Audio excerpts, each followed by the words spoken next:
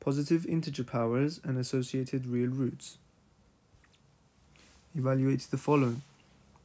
Right, before we can do any of these questions, a positive integer power is, for example, the 5 as a power of 2, because this is a positive whole number, so it's a positive integer, that comes as a power of 2. An associated real root is basically the square root of any positive number. Doesn't need to be a whole number, as long as it's a positive number, it would give us a real root. So in GCSEs, we're never going to be dealing with the square root of negative numbers anyway. So you don't have to worry about that. The first question here, 3 squared is 3 times 3 plus 2 cubed, that's 2 times 2 times 2, equals to 9 plus 8, equals to 17.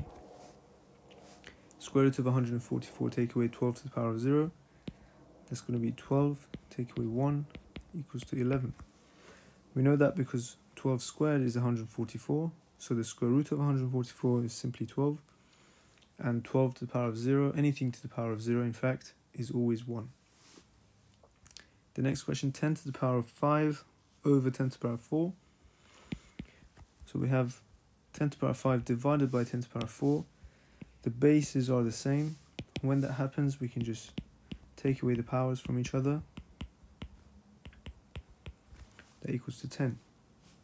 If they were being multiplied together, so if it was 10 to the power of 5 times by 10 to the power of 4, then we would have added the powers. This is if. Let me just do some. Right. The next question square root of 16 over 4 plus 3 cubed.